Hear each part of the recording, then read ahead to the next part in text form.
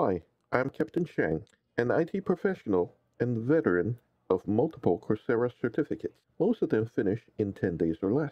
Recently, I finished the Google Cybersecurity Certificate in 5 days. To me, Coursera education is the cheap introduction to a career that you may be considering. From data science and information technology to cybersecurity and user interface design, and a lot more for less than $50 a month. However, to get the most out of Coursera, here are some strategies you should follow. While the strategies I talk about mainly applies to the cybersecurity certificate, most of the tips should work in general toward other technical Coursera professional certificate programs. Number one, understanding how Coursera payment works. Coursera is usually organized around a certificate program, which has several courses. For example, the cybersecurity certificate from Google Coursera has eight courses total. Coursera lets you take as much time as you need on this. However, the longer you take, the more you will pay. You get seven days free trial to look at the course. At the end of the seventh day, you will be charged the program fee, which gives you the rest of the month. For cybersecurity certificate, it is $49 a month. This fee will vary depending on the exact program you're taking. You will then have the rest of the month to study. If you cannot finish by the end of the month, you are charged again and get another 30 days. This repeats until you finish all the courses and earn the certificate. So, the faster you finish all courses, the less you pay. The most often asked question Do you get the certificate free if you finish it in less than seven days? The answer it depends on the course. Coursera reserves the right to charge you one month of program fee, even if you finish in seven days. But it's not always enforced. I was not charged for my five day completion of the Google Cybersecurity Certificate. Free is good, but 49 is not bad either. Tip number two pre learn before starting the lesson. I started with a few unfair advantages going into the certificate program. I'm an IT veteran, so I know about the IT related topics such as networking. I have a bachelor's degree in electrical engineering with a minor in computer science from way back when, so I know a lot of the technical stuff already. I have actually worked with databases for decades and I know SQL fairly well. I've even taken a SQL course on Coursera before, around 2020. I have taken Python lessons on Coursera before, both for IT automation, a Google course, and data science, an IBM course, also around 2020. And finally, I have taken an introductory cybersecurity course back in 2020 as well.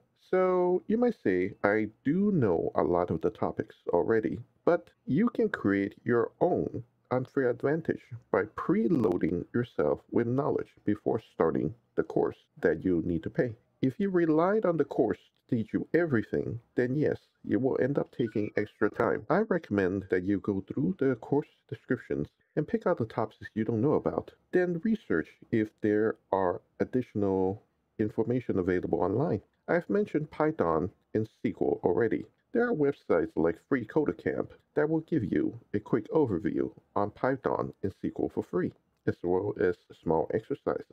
What's even better, both Python and SQL have downloadable versions that you can install on your local computers. I have Windows, so a little research shows that I can install Anaconda and MySQL totally free and practice on my own PC. You will have to research your own if you have Linux or macOS. By preloading yourself with knowledge, when you get to the course material that you already know, you can say, Cool, I know this already, and speed through the course. Strategy number three speed and read. The video lectures in Coursera can be played back at up to two times speed. If you find the lesson a bit long, play it back at two times speed should help you speed through it quickly. Obviously, if it's too fast for you, please reduce the speed until you can listen to it carefully. I am not a native English speaker, but I have no problem understanding English at 2x. Your ability to understand fast English varies, so find your own threshold. What's even better, the spoken words are synced to the transcript just below it, so you can reinforce your learning by reading while listening to the lecture. The multimedia approach should help you retain more of what you learned. However, do not neglect note taking. For some people, the act of writing down what you learned reinforces the learning as well. Strategy 4 Seek help when you need it. If you're unable to understand a certain topic, please engage the discussion forums. If you're struggling with a particular topic for more than 15 minutes, seek help. You'll need it, and there are many help available. There are several forums for each course, usually one per week. For each course, uh, they generally divide the progress up uh, by week one, week two, week three, and week four. So go to that forum and start asking questions. You'll find question and answer from former students, current students, and teaching assistants in those forum answering questions for everyone. Your question was probably already answered. If not, post one yourself. Often, reading what other students struggle on may give you a new perspective on your problem. Remember, it could be an error in the course material or the quiz or the lab exercise. It may not be your fault if you cannot progress. You can also use this to seek other students and form ad hoc study groups if you need further help. Strategy 5. Do all the labs and exercises. It is important to do all the labs and exercises available to you in Coursera. Do not skip over them if you are learning.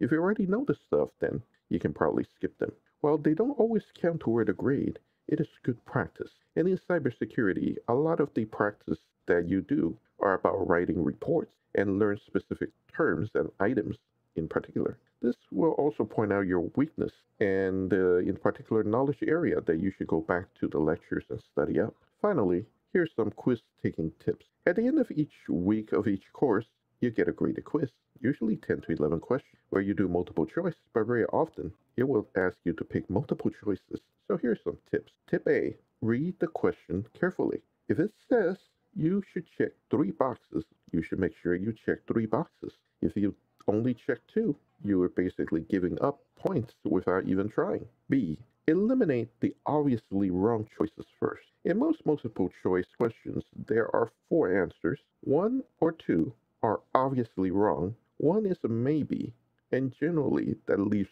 two that looks right, but only one is the real answer. Eliminating the obviously wrong ones will help you narrow down the choices toward the actual answer. C. Skip those you can answer, for now at least. Coursera graded quiz is not really timed, but you should not take more than one minute per question. Generally speaking, if you cannot at least eliminate one choice after 10 seconds, you should skip the question and go back to it later. In conclusion, Coursera courses offer an affordable way to try out a new profession and see if it really interests you. While by itself, it's probably not enough to get you a new job, it should give you some ideas on what sort of certification to seek next. As the expression goes, see how deep the rabbit hole goes. In terms of cybersecurity, there are many different subdisciplines that one may want to specialize in, such as cyber forensics, tool automation with SQL and Python, incident response, penetration testing, and so on. Introduction to cybersecurity,